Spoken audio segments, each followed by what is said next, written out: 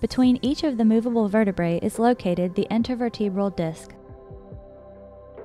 Intervertebral discs consist of a thick outer layer with a crisscrossing fibrous structure, annulus, that surrounds the soft, gel-like center, the nucleus.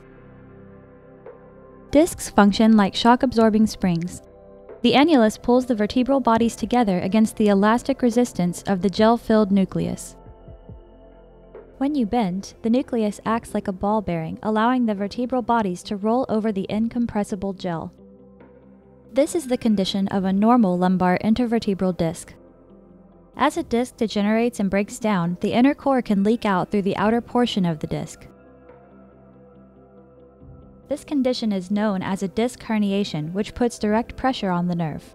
Lumbar herniated disc symptoms include low back pain, legs and buttock pain, leg numbness, and tingling.